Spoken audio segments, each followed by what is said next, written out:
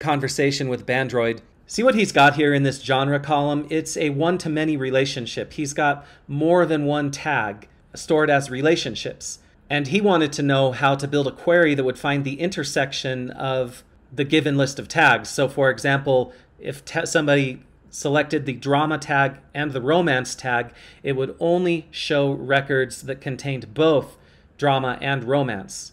So just like I, under- I misunderstood as well.